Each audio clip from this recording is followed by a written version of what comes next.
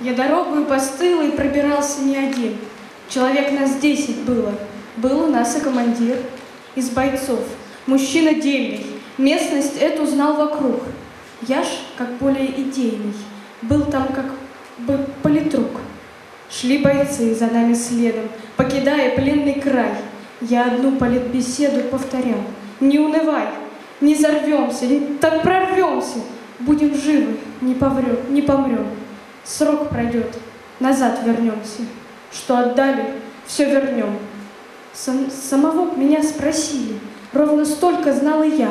Что там, где она, Россия, по какой рубеж своя?